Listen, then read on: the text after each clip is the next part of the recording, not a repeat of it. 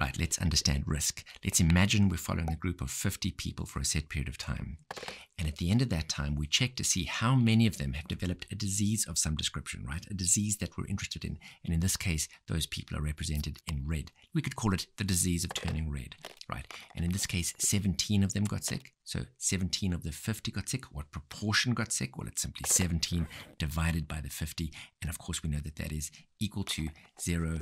0.34, so 34% of them. So the risk of getting sick in this cohort was 0.34, or you could say that each of them had a 34% chance of getting sick, all things being equal. But of course, we know that not all things are equal. Not everybody's at the same risk. People certain people have, have certain characteristics that might put them at more risk or might be exposed to something that puts them at more risk. So let's imagine in this particular example that the circles represent people who smoke right? And we think that they might be at increased risk of the disease that we're interested in. So let's calculate the risk in smokers and non-smokers separately to see if there is a difference between them. And if there is a difference, let's try and identify how much more at risk one group is relative to the other. So amongst the smokers, the circles, 12 people got sick, 13 people didn't get sick, so giving us a total of 25. And amongst the non-smokers, 5 people got sick, 20 didn't get sick, so again we've got a total of 25. And of course you can see that this is pretty much a cohort study. We start with an exposure of interest, in this case smoking. We follow that cohort over time, and then we, we measure some sort of outcome, sometimes even more than one outcome, and we compare them to a group of people that weren't exposed, right? That's how a cohort study works. And then, hang on, this is beginning to look like one of those two by two tables that drive you mad because the day after learning about them, you can't quite remember what's a row and what's a column. And then you got to remember some formula like A over A plus B divided by C over C plus D. Who on earth is going to remember a formula like that? Nobody. Forget the formula. Just watch this. Watch how easy this is, right? Okay, watch what I do here. I simply say of the 25 smokers, 12 of them got sick. So the risk among smokers is 0.48, 48%. Of the non-smokers, of the 25 non-smokers, five of them got sick. So the risk amongst non-smokers is 0.2, 20%, right? And if we want to know how much more at risk smokers are than non-smokers, we simply calculate the ratio. Voila, right? In this case, the risk ratio is 0.48 divided by 0.2, giving us a relative risk of 2.4. In other words, smokers are 2.4 times more likely to get this disease than non smokers. Easy peasy, lemon squeezy. Let's take a moment to better understand how to interpret a ratio like this. If there's no difference in the risk in the exposed group and the unexposed group, in other words, exposure doesn't make any difference, then the risk ratio will be 1. 1 means that there's nothing to see. If, however, the exposure of interest does increase the risk, then the risk ratio is going to be greater than 1. And in this case, it's 3. So the exposure increases the chance of the outcome by 3 times. You're 3 times more likely to get this particular outcome. And if the exposure of interest is protective a, against the particular outcome, like, for example, the use of sunscreen to protect against skin cancer, then the risk ratio will be less than 1. In this case, it's a half, right? Have you got it? Of course, you got it. What a question. Okay, let's keep going. So you can also look at the difference between these two groups, right? If you subtract the 0.2 from the 0.48, you get 0.28, right? This is the excess risk or the attributable risk. And let me explain to you what that means. Let's imagine that you are a non-smoker. Your risk of disease is 20% at that point in time. But then you take up smoking and your risk goes up to 48%.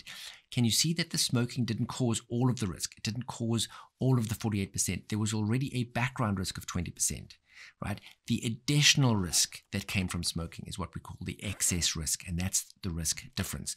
So if you start with the risk of smoking and you take away the background risk, you're left with the risk that can be attributed to smoking. So that's why we call the risk difference or the excess risk the attributable risk, right? You got it? Boom shakalaka. This stuff is super easy.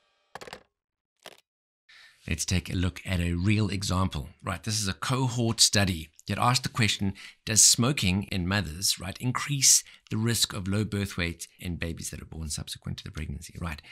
Stop the video. Stop the video. Stop the video. We'll get back into that video in just one minute. I want to give a huge thank you to the Royal College of Physicians of Ireland for providing support for the creation of this video. Now, I'm delighted to be talking about the Royal College of Physicians of Ireland because I know them really well. I live in Ireland and I did my higher specialist training through the Royal College of Physicians of Ireland. I do my continued professional development through the Royal College of Physicians of Ireland. I'm also one of the trainers in the Faculty of Public Health Medicine, and I help develop and deliver a lot of the online and in person teaching and training that the college does. So I really do have first hand knowledge and experience of the tradition of excellence that is here at the Royal College of Physicians of Ireland. So, if you are a doctor in any discipline or you're a healthcare professional anywhere in the world and you want to improve your clinical or leadership skills, consider doing one of the courses or programs available either online or in person through the Royal College of Physicians of Ireland. You can click on the link in the description below or go to rcpi.ie. Okay, let's get on with the video. In this study, followed up a thousand pregnant women, and of the thousand, we had 158 who smoked during pregnancy and 842 who didn't smoke, who were non smokers. So let's consider the risk in each of these two groups separately. In the group of non smokers, 53 babies were low birth weight and 798 were of normal weight.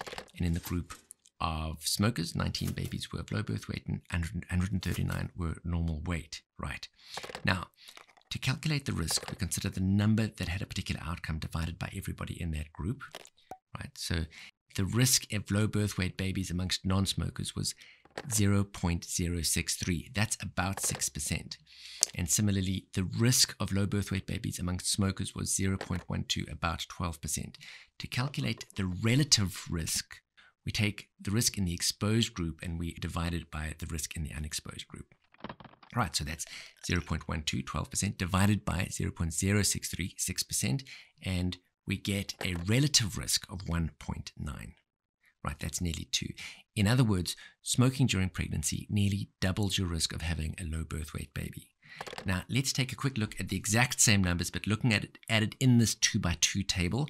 And again, easy peasy lemon squeezy. Let's look at how we do this. First of all, we calculate the, the, risk in each group separately. Then we look at the relative risk or the risk ratio. And again, we can of course see it calculates to 1.9, nearly two, nearly double the risk. And of course, we can also calculate the risk difference or the excess risk or the attributable risk by subtracting one from the other. And in this case, if you smoke during pregnancy, your absolute risk of low birth weight babies goes up by 5.7% or 0.0 0.75 times by 100 to get it as a percent, 5.7%. Now, stay and watch another video. Remember to subscribe to this channel if you haven't already. Hit the bell to get notifications of future videos and remember to like, comment, and share. And of course, you can check out learnmore365.com for a free public health course that's available for anybody. Lots of other research method courses available. Have a great day. Stay well. Speak to you soon. Cheers.